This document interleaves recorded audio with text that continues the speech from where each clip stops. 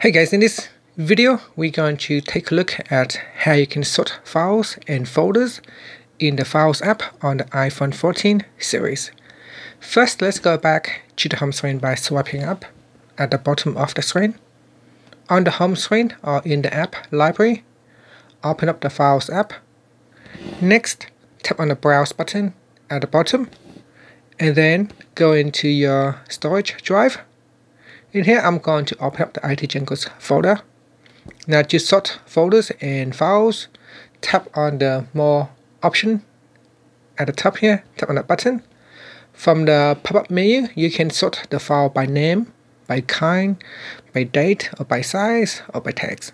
So let's say if I um, sort the files and folders by name, if I tap that, you can see it goes from A and then to T.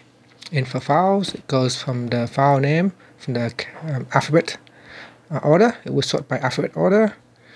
And if you want to sort by date, so it shows files uh, by date. Images in here, it will shows by date. And you can also sort by size, so it will shows uh, files from smallest to largest. And you can also sort by, ta uh, by tags as well.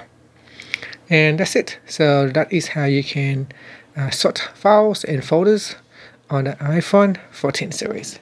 Thank you for watching this video. Please subscribe to my channel for more videos.